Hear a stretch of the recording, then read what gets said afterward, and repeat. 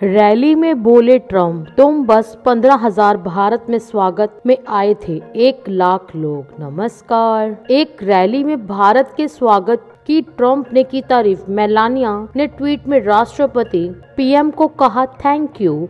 अभी हाल ही में भारत दौरे पर आए अमेरिकी राष्ट्रपति डोनाल्ड ट्रंप, भारत और प्रधानमंत्री नरेंद्र मोदी की मेजबानी नहीं भूल पा रहे अमेरिका की एक रैली शनिवार को उन्होंने कहा कि यहाँ तो बस पंद्रह हज़ार लोग जुटे हैं, जबकि भारत में स्वागत के लिए लाख से ज़्यादा लोग आए थे। साउथ कैरोलिना में शनिवार को एक रैली में राष्ट्रपति ट्रंप ने कहा, मुझे ये बात कहने में झिझक हो रही है की भारत में एक लाख उनतीस हज़ार सीट वाले स्टेडियम में में इतने लोग जुटे थे क्या आप लोगों ने देखा? पूरी जगह भरी पड़ी थी। लगभग एक लाख लोग वहाँ आए। वह क्रिकेट स्टेडियम था और यहाँ से तीन गुना बड़ा था। प्रधानमंत्री नरेंद्र मोदी की तारीफ़ करते हुए उन्होंने कहा कि वह महान व्यक्ति हैं, जिन्हें हिंदुस्तान के लोग काफ़ी प्यार करते। रैली में मौजूद लोगों की संख्या पर उन्होंने कहा, यहाँ भी अच्छी खासी भीड़ है और मुझे भीड़ के बारे में बात करना अच्छा लगता है, क्योंकि मेरे लिए बड़ी संख्या में लोग आते हैं। पचास से साठ हज़ार लोगों की इस जगह पर मात्र पंद्रह हज़ार लोग जुटे हैं। ट्रंप ने कहा वहाँ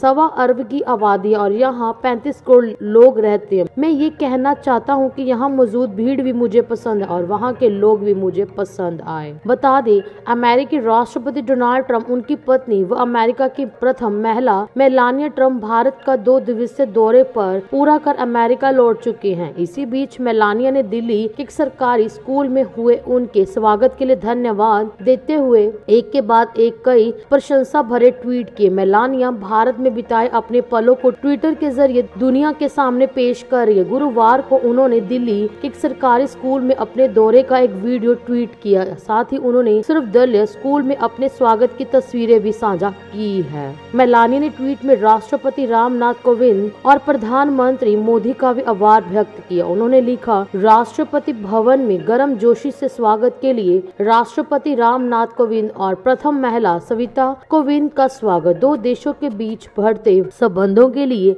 ये काफ़ी खूबसूरत दिन रहा। इससे पहले उन्होंने प्रधानमंत्री मोदी को धन्यवाद देते हुए लिखा, मेरे और port president of the United States के स्वागत के लिए थैंक यू नरेंद्र मोदी। दोस्तों, अगर आपको हमारी ये जानकारी अच्छी लगी तो कमेंट करके बताएँ, लाइक और शेयर ज़रूर कीजिए और आगे भी ऐसी खबरें देखने के लिए हमारे चैनल को सब्सक्राइब करना ना भूले, क्योंकि हम हर रोज ऐसी खबरें आपके लिए लाते रहते हैं।